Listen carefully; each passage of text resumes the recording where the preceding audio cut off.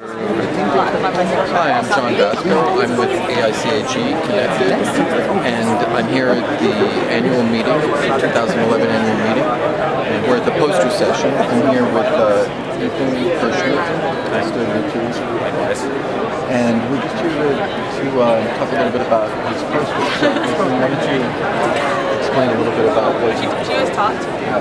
Sure. So I created a solar cell that sought to decrease uh, cost and also increase the voltage output uh, as compared to commercially available solar cells.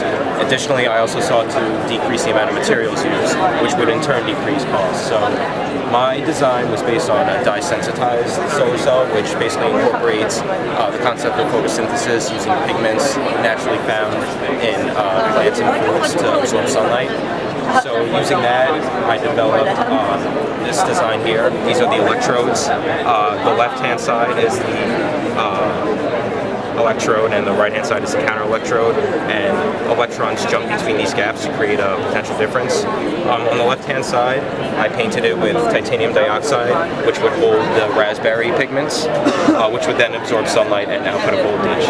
Um, as you can see by this table, the voltage in comparison to the surface area uh, for my designs output a greater ratio when compared to the commercial kit by at a maximum of about, of about fourfold. Excellent. Thanks so much for explaining this to us, and uh, hope you have a great meeting. Thank you.